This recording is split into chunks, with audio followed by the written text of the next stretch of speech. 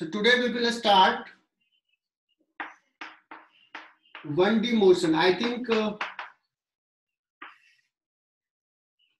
इसके पहले वाले जो लेक्चर्स थे उसमें हमने जनरल डेफिनेशंस बताया डिस्प्लेसमेंट का डिस्टेंस ट्रेवल का वेलोसिटी का एक्सलेशन का जनरल 2D, 3D, 1D सबके लिए वैलिड था अब अपने आप को कन्फाइन कर लेते हैं, थोड़ा इजी कॉन्सेप्ट डिस्कस कर लेते हैं।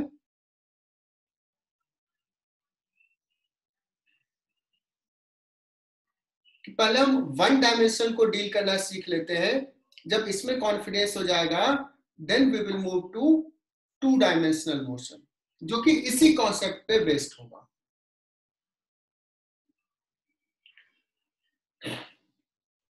Okay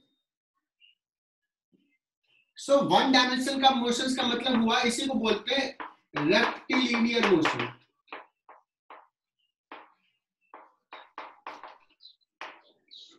means motion on a straight line.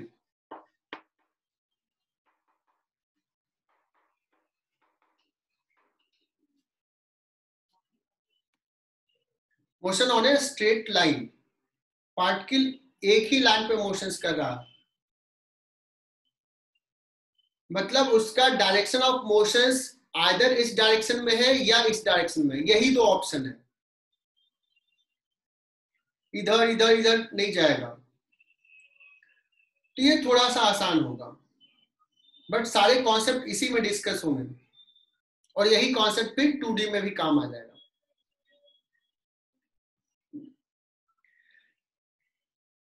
Let's की motion is along x axis so if the particle is here और इसका वेलोसिटी इधर है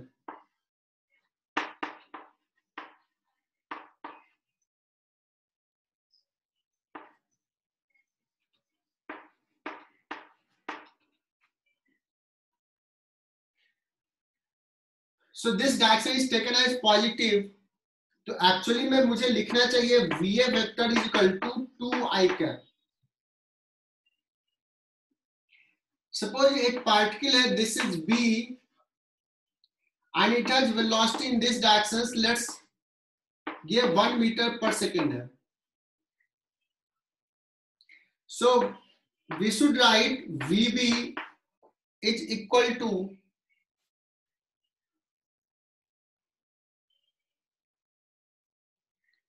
क्या लिखेंगे? One I cap. I cap नहीं, minus I cap.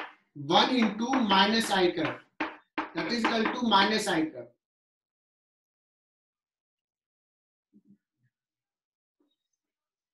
लेकिन मुझे पता है अगर मोशन इसी लाइन के लॉन्ग है तो मैं ये आई कैप आई कैप लिखने की ज़रूरत नहीं है। सिंपली हम लिख देंगे वी ए इनफैक्ट वेक्टर भी नहीं दूँगा बट ये वेलोसिटी है।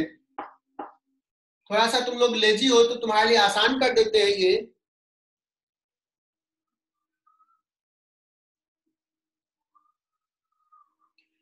कि इतना आई कैप लिखने की जगह सिंपली लिख लो प्लस टू प्लस टू का मतलब इस डायरेक्शन में। वी बी इधर है तो लिख लिया minus one that means plus और माइनस से हम डायरेक्शंस बता रहे हैं। क्लियर प्लस और माइनस से हम डायरेक्शंस बताएँगे।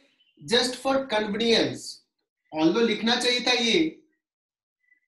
बट थोड़ा कन्वीनियंस के लिए हमने उतना नहीं लिख दिया। हम इतना भी लिख लेंगे तो चल जाएगा। हम मीनिंग समझ लेंगे। तो वन डायमेंशनल में ऐसे यूज़ करते हैं। अब मान लो पार्टिकल का एक्सेशन भी कुछ है। जैसे इसका एक्सेशन ए का acceleration suppose one metre per second square इधर है। तो हम लिखेंगे acceleration of A is equal to one मतलब unit one metre per second square plus one चूँकि इधर है। अगर मैं पूछूँ A B A B suppose इसका भी एक्सेशन सपोज़ इधर है बी का एक्सेशन इधर है। सपोज़ ये three metre per second square है so A B is equal to क्या लिखेंगे plus three metre per second square हालाँकि ये थ्री आई कैप लिखेंगे आई होप कि ये समझ में आ रहा है प्लस मतलब इधर माइनस मतलब इधर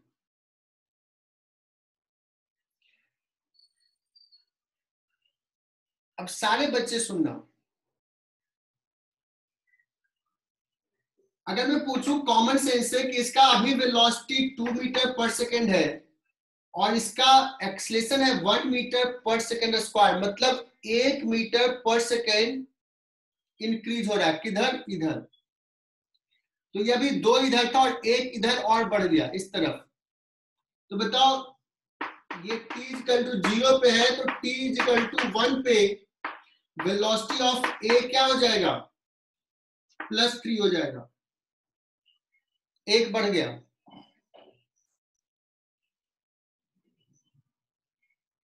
लेकिन इसका वेलोसिटी इधर है और एक्सलेशन इधर है।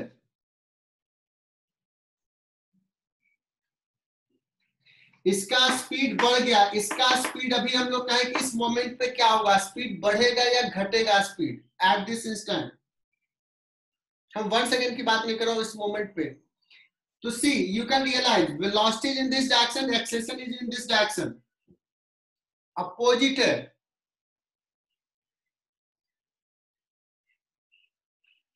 वेलोसिटी इधर एक्सेलेरेशन इधर। एक्सेलेरेशन चाह रहा है कि इधर वेलोसिटी बढ़े बट वेलोसिटी है इधर। तो क्या होगा? इसका वेलोसिटी का मैग्नीट्यूड कम होगा। घटेगा। इसी को कभी बोलते हैं डिसलेशन डिसलेशन का मीनिंग होता है कि वेलोसिटी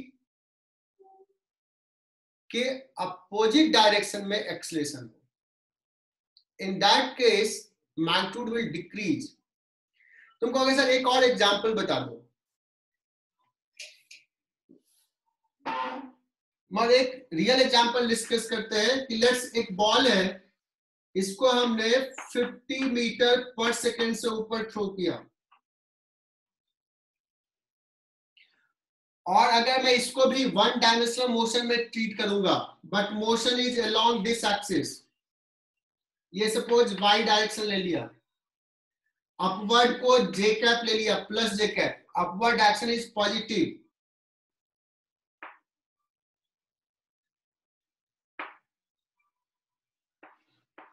तो हम वेलोसिटी वी नॉट हम क्या लिखेंगे बच्चों अभी?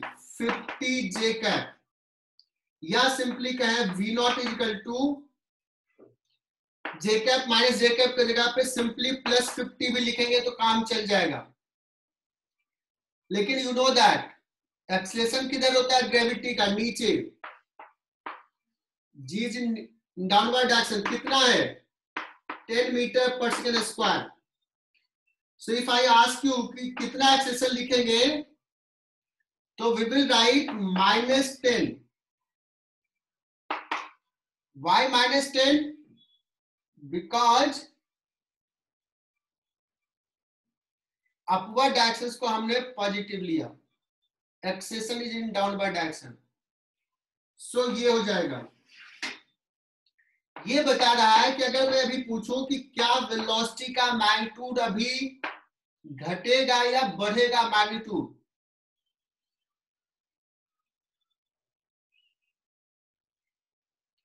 तो तुम कहोगे कि सर वेलोसिटी इधर है और एक्सेशन इधर है। अपोजिट डायरेक्शन में इसलिए स्पीड का मैग्नीट्यूड घटेगा डिक्रीज होगा।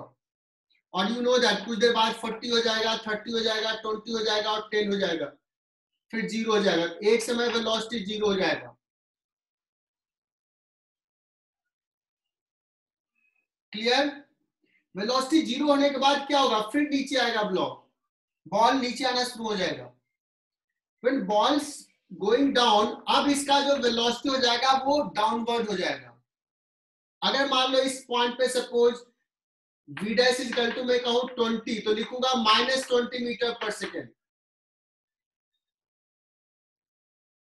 acceleration किधर है? अभी भी एक्सेशन इधर है।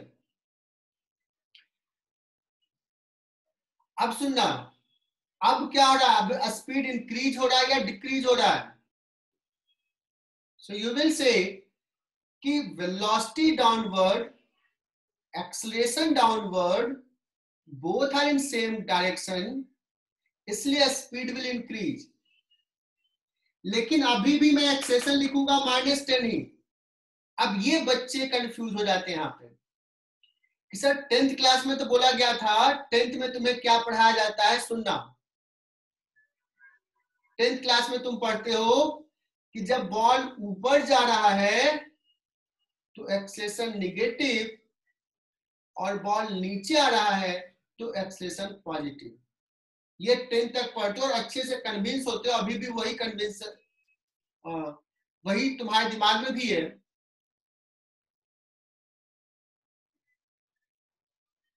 वो सही था, गलत नहीं उसमें कुछ।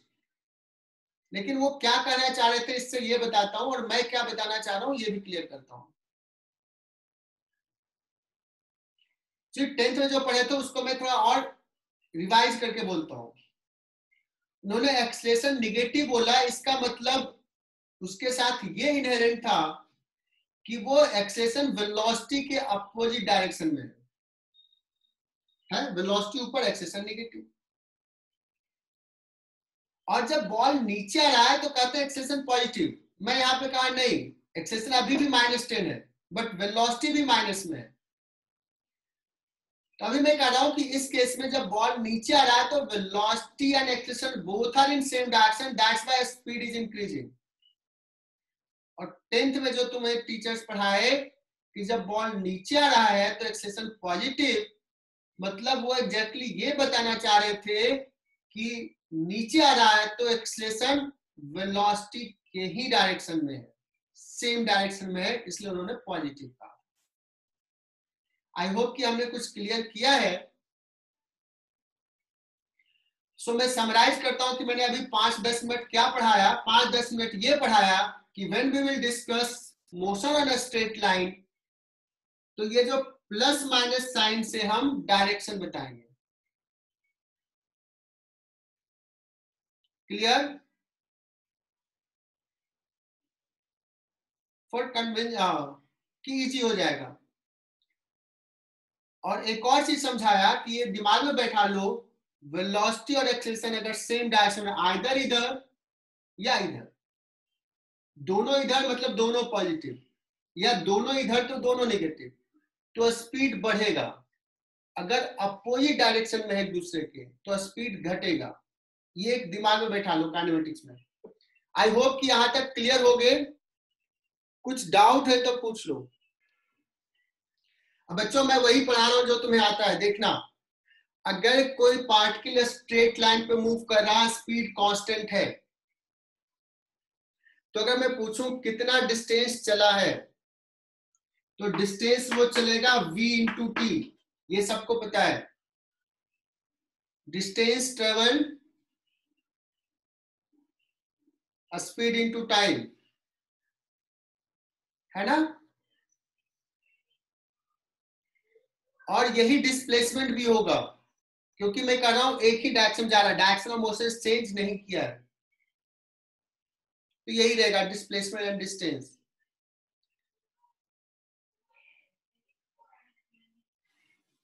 अगर मैं पूछ दू कि ये t1 टाइम तक v1 स्पीड से चला फिर t2 टाइम तक v2 स्पीड से चला। और छोटा सा सवाल पूछूँ कि टोटल डिस्टेंस कितना चला है वो? कहो सर कितना छोटा सा सवाल पूछ रहे हो? V1 स्पीड से t1 टाइम तक चला v1 t1 फिर v2 स्पीड से t2 टाइम तक चला, फिर v2 t2 इतना डिस्टेंस चला है। ये तो तुम्हें आता है। ये तो तुम नाइन्थ क्लास में बहुत मन से सॉल्व कर लेते थे।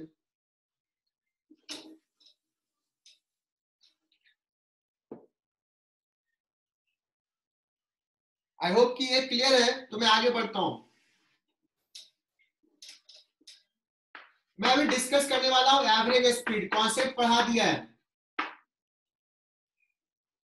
छोटे से सवाल ले रहा हूँ।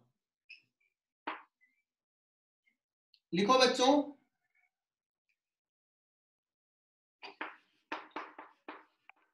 a particle moves on on a straight line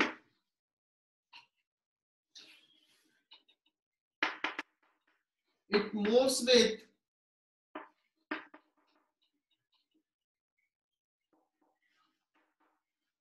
constant speed moves with constant speed v1 for half time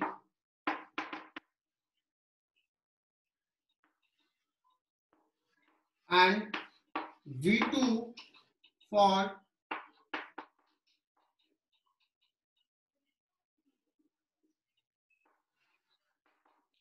v2 for rest half of the time.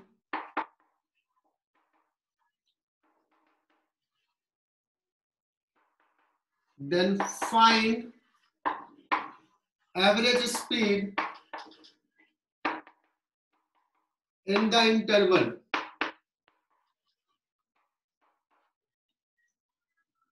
कितना आसान सा सवाल से ले रहे हैं। सारे बच्चों से ये सॉल्व होना चाहिए।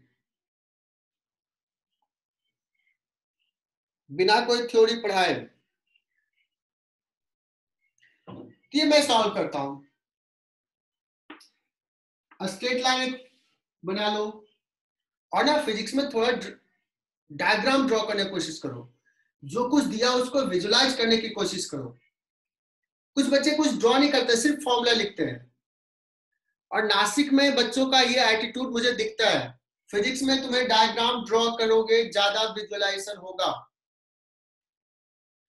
यू विल बी कंफर्टेबल जैसे मैं कर रहा हूँ, वैसे ही करना है। कल यहाँ से चलना शुरू किया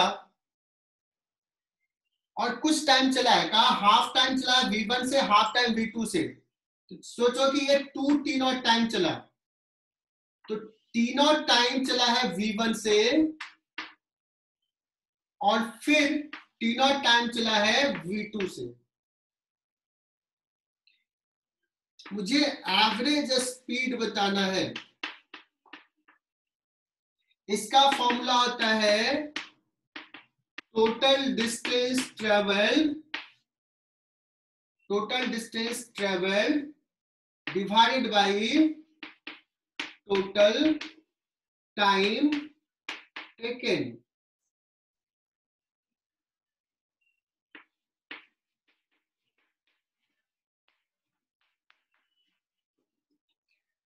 तो टोटल डिस्टेंस ट्रेवल कैसे निकाले?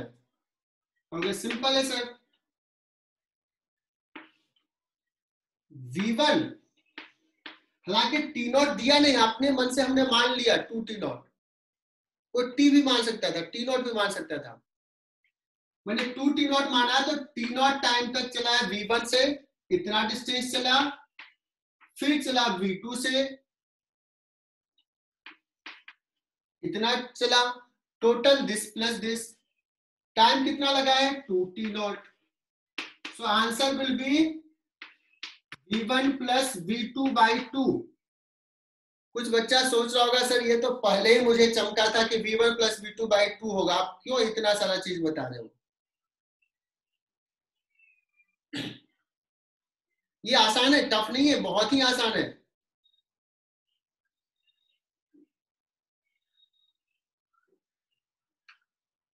सो पल्लवी सिन्हा, तुम्हारे में टू टी आ गया। टी कैसे? टी क्या है? नहीं दिया हुआ है।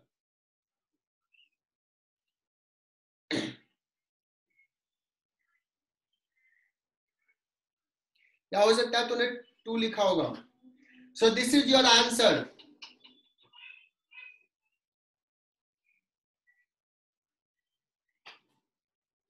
but मैंने तो ये सिखा दिया। बुक में भी ये देखा था, ये पढ़ा, सीख लिया।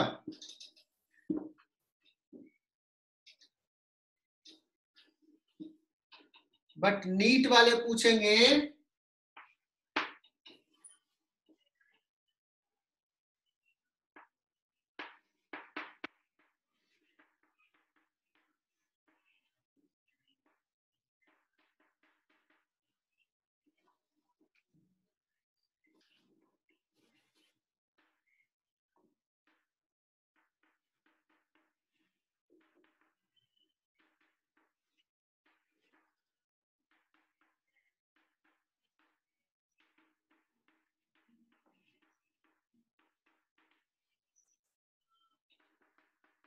लिखो ये सवाल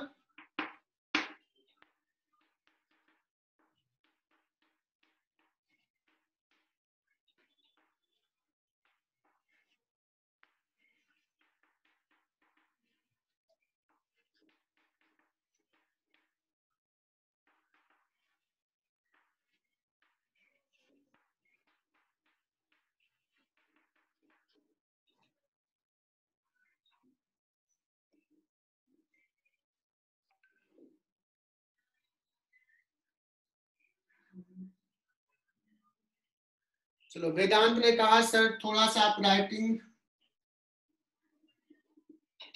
थोड़ा सा राइटिंग अच्छा लिखिए, एकदम सही का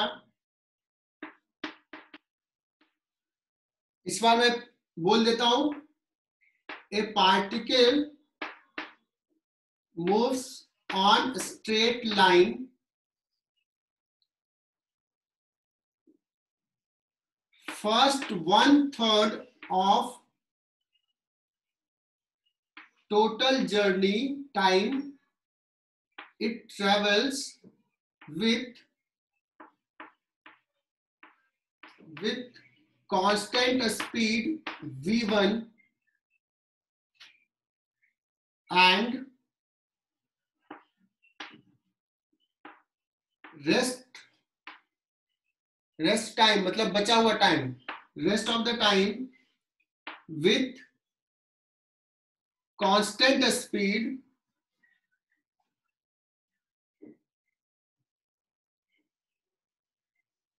constant speed v2 then average speed for this interval will be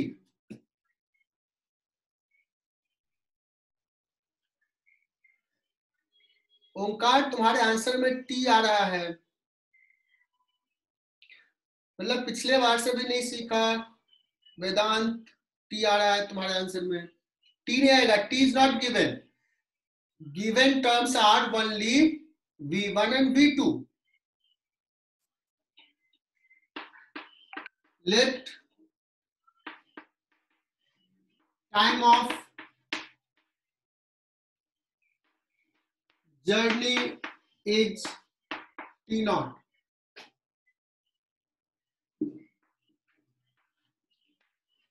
v1 speed से चला है वन थर्ड टाइम तो total time of journey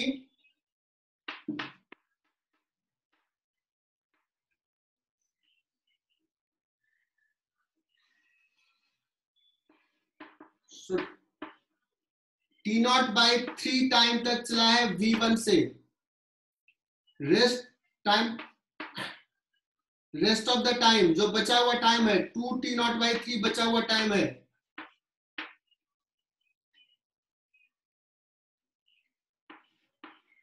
So total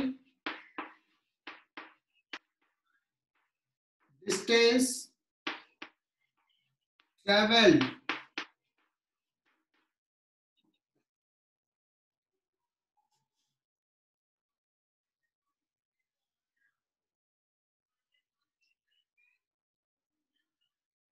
total distance travel कितना हो जाएगा? V1 स्पीड से चला है t naught by three v one into t naught by three plus v two into two t naught by three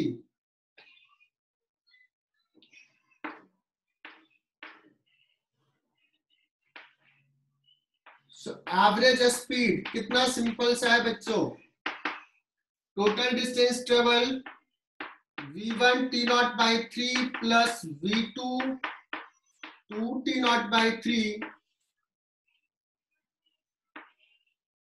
whole divided by total time कितना माना total time t naught so answer is v1 plus 2 v2 divided by three t naught t naught cancel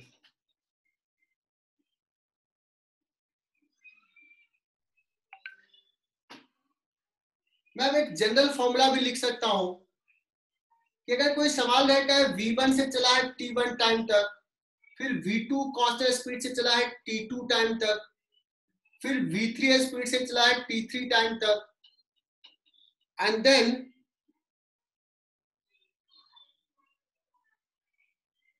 इस interval में average speed निकालना है। Average speed okay sir कितना simple सा है। Total distance कैसे निकालेंगे? V1 T1 और कितना होगा? V2 T2 और V3 T3 ये सारा summation divided by T1 plus T2 plus T3 ये हो गया जनरल फॉर्मूला लिख लो जल्दी से इसको।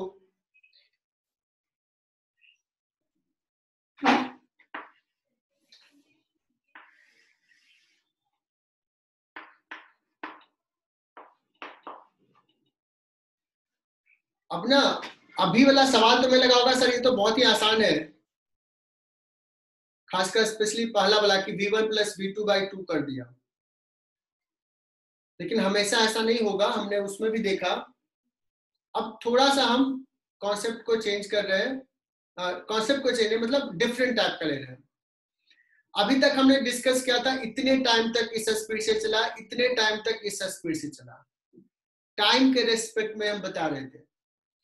अब क्या करते हैं कि लेट्स कि इसको ए से बी तक जाना है बच्चों।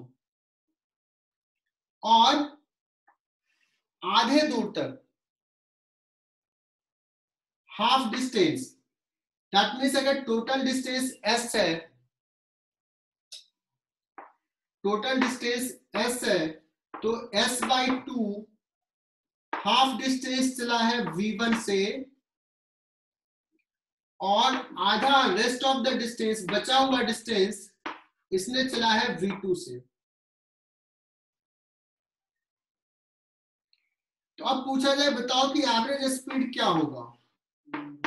और ये कॉमन प्रैक्टिस में आ सकता है। तुम अपने किसी दोस्त के घर जा रहे हो। आधे रास्ते तक में कोई ट्रैफ़िक नहीं था हाईवे था क्लियर हाईवे था। और आधा डिस्टेंस मार्केट वाला है जहाँ पे तुम स्लो चल सकते हो। है ना? तो ऐसे प्रैक्टिकल सिचुएशन होगा। So in that case how to find average speed okay तो ये सवाल लिख लो। देखो, मैंने डायग्राम में समझाया। ऐसे लिखना है। तो क्वेश्चन भी मैं लिख रहा हूँ। थोड़ा हैंड राइटिंग कोशिश करता हूँ अच्छा लिखने का। A particle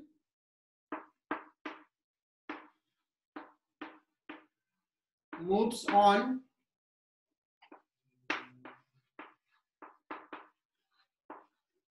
Straight line.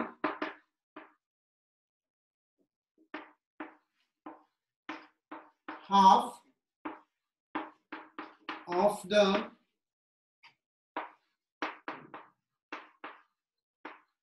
distance. It moves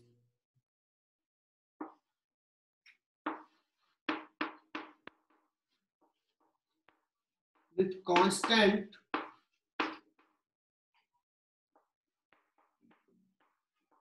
speed v1 and rest half of the distance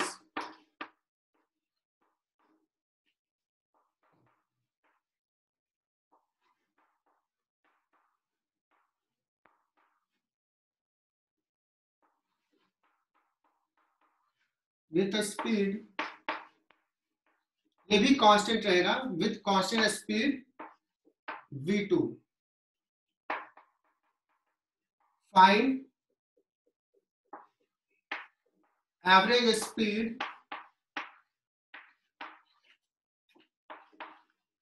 for this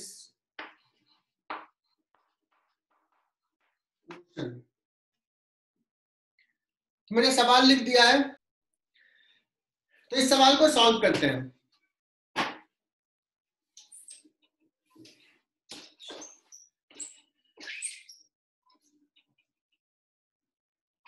हमें तो एवरेज स्पीड निकालना है तो क्या करेंगे? टोटल डिस्टेंस ट्रेवल मान लिया है एस एस और यहाँ से यहाँ जो चला है V1 से सपोज़ इसने T1 टाइम तक चला। और यहाँ से यहाँ जाने का टाइम सपोज़ T2 लगा तो टोटल टाइम ऑफ़ जर्नी हो जाएगा T1 वन प्लस T2 लेकिन T1 दिया नहीं है। इनफैक्ट एस भी नहीं दिया था, हमने मान लिया S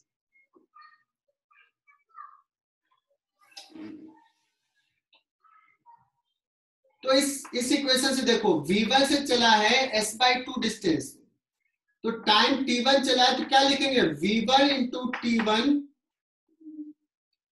equal to s by two इतना तो आता है लिखने।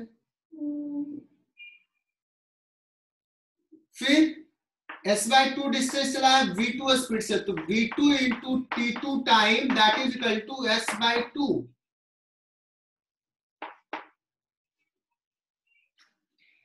so t one will be यहाँ टी वन पुट करना है।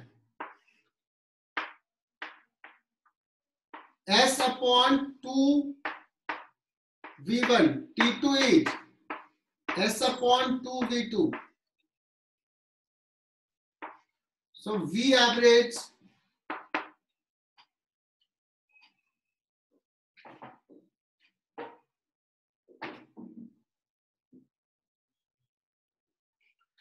देखो ये एस एस तो कैंसिल हो जाएगा। One upon one by two v one plus one by two v two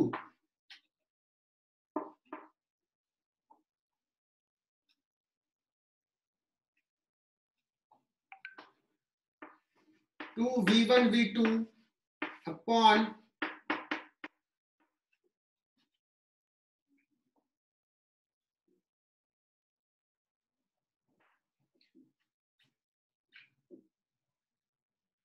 ये आ गया।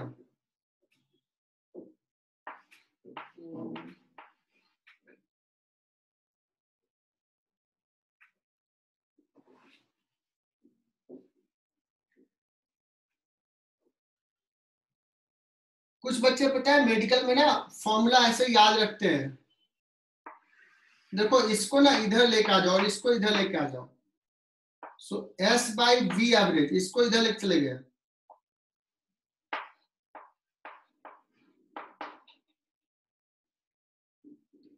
इसको इधर लेके आ गए क्या हो जाएगा? S by two v one plus s by two v two s cancel हो जाएगा। तो क्या बचेगा? वन यहाँ भी वन यहाँ भी वन कुछ बच्चे ऐसे याद रखते हैं फॉर्मूला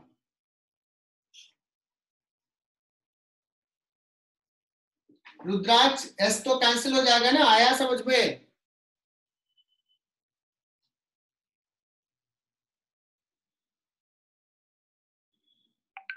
तो आई होप कि ये सॉल्यूशंस क्लियर हो गया होगा। अब मैं एक सवाल सपोज़ होमवर्क दे दू। मैं कहूँ कि हाफ़ डिस्टेंस नहीं one third one third distance चला है वी वन से। Second one third v two से। और last one third v three से। और मैं पूछ दू कि एवरेज स्पीड क्या होगा? क्योंकि सर ये तो और सिंपल ही हो जाएगा। एस बाई थ्री चला है किससे? वी वन से। टोटल डिस्टेंस एस मान लिया। एस बाई थ्री चला है वी टू से। And so on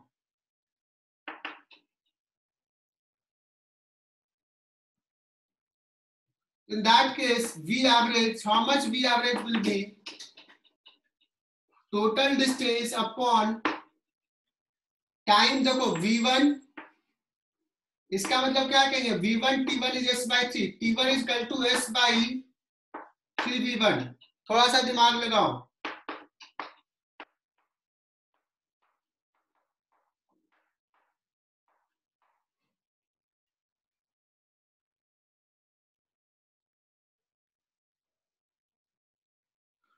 so so, ऐसे लिख लेंगे। है ना? आ जाएगा वी एवरेज या इसको थोड़ा ऐसे फॉर्मेट में लिखो तो one by v average one by three v one plus one by three v two plus one by three v three ऐसे भी लिख लेंगे। इसको सिंप्लीफाई भी कर सकते हैं या ऐसे भी दे सकते हैं आंसर।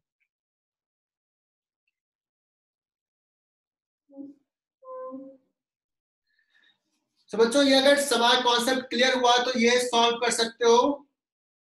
एक पार्टिकल मूव किया स्ट्रेट लाइन पे और जितना डिस्टेंस चला है वो टोटल उसका वन थर्ड उसने चला था वी वन स्पीड से और बचा हुआ टू थर्ड चला है वी टू से। तो एवरेज स्पीड कैसे निकालेंगे?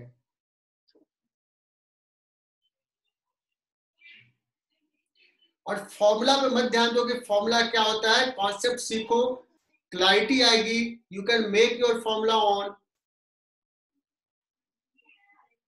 और वो हमेशा के लिए याद रह जाएगा। फॉर्मूला सिर्फ़ याद करोगे, कहीं ना कहीं गलत कर दोगे।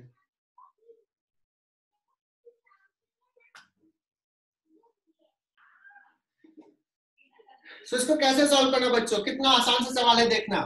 टोटल डिस्टेंस मान लिया एस और उसमें एस बाई थ्री डिस्टेंस किस स्पीड से चला है? वी वन से। तो मैं क्या लिखूँगा? S by three is equal to v one t one बचा हुआ टू एस बाई थ्री चला है। कितने से? वी टू से। टाइम लगा t two so v will write this ये इक्वेशंस लिखने आता है तुम्हें। बट हमें तो चाहिए एवरेज स्पीड क्या होगा? S divide by total time t one plus t two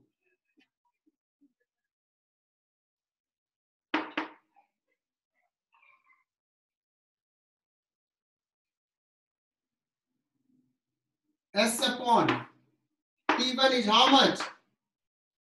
S by 3 V1. T2 is how much? 2S by 3 V2. S cancel. 3 V1 V2 V2 plus 2 V1 बताओ कितने बच्चों को सही हुआ है रुद्राक्ष गलत हो गया तुम्हारा। आयुष यादव गलत हो गया।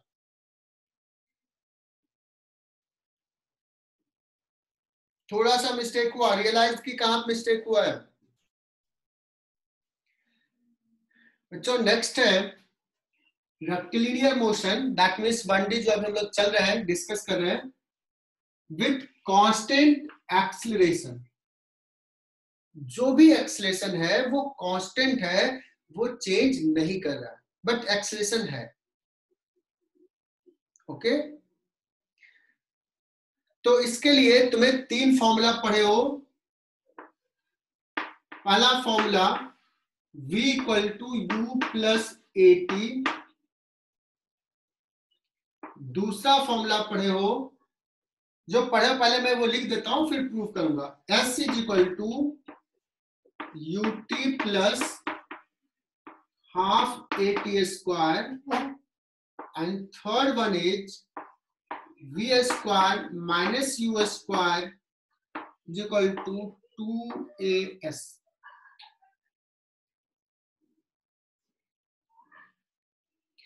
आज जानवी को बहुत परेशानी हुआ बार बार डिस्कनेक्ट हो रही है। So what is u that means यहाँ पे एक्सेसन ने कहा कि ये जो फॉर्मूला लिखे हैं, वहाँ पे ए क्या है? कांस्टेंट है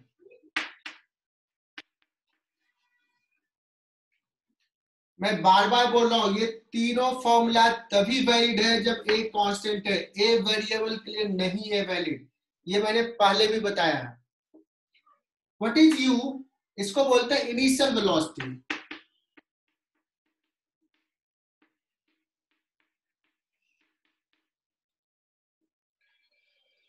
या इसी कहते हैं velocity at t equal to zero What is v तुम लोग जनरली ज़्यादातर बोलते हो कि फाइनल वेलोसिटी बट मैं इसको ज़्यादा कहूँगा कि ऐसे लिखो। I will focus velocity at time t.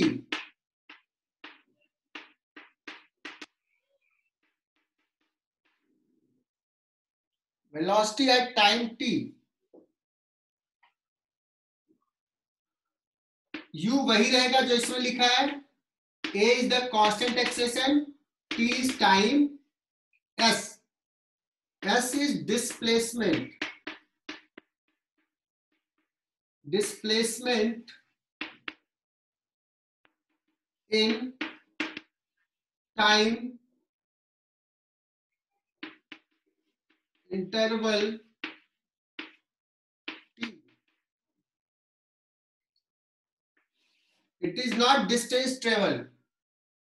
This is not distance travel. This is displacement. इसको ऐसे भी लिख सकते हैं एस टू माइनस एस मतलब इसको ऐसे भी बोल सकते हैं final position minus initial position यहाँ पे एस लिख रहा हूँ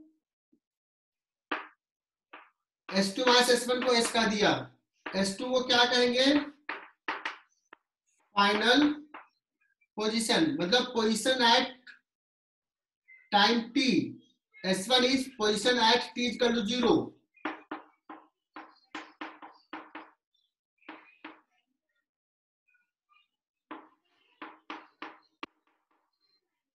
s two क्या है?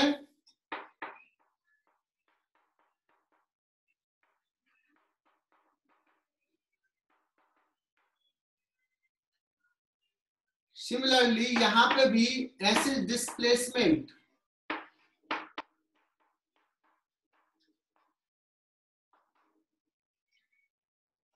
यू इनिशियल था और v जब s डिस्प्लेसमेंट हुआ तो वेलोसिटी v है। तो ये तीन इक्वेशन जैसे मैंने लिखा, वैसे अपने नोटबुक में लिख लो। और एक और चीज़ लिख लेना। यहाँ पे v लिखा है वेलोसिटी नॉट स्पीड अब कहोगे सर क्या डिफरेंस है?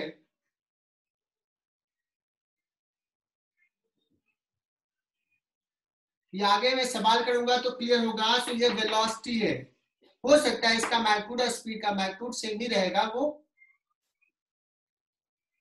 बट ये डायरेक्शंस भी बताएगा। Similarly this is not distance travel this is displacement हो सकता है इसका मैग्नीट्यूड और डिस्टेंस ट्रेवल से भी हो। सो दिस इज़ डिस्प्लेसमेंट ये सारा इनफैक्ट वेक्टर इक्वेशन है। ये स्केलर इक्वेशन नहीं है वेक्टर इक्वेशन है। ये वेलोसिटी है इनिशियल वेलोसिटी एक्सेशन है। बट मैंने स्टार्ट में आज बताया कि चूँकि वन डायमेंशन के लिए डील कर रहे हैं तो प्लस माइनस से हम डायरेक्शंस दिखा देंगे। आई कैप जे कैप लिखने की ज़रूरत नहीं है। सो so, यह स्केलर इक्वेशन नहीं है बच्चों ये वेक्टर इक्वेशन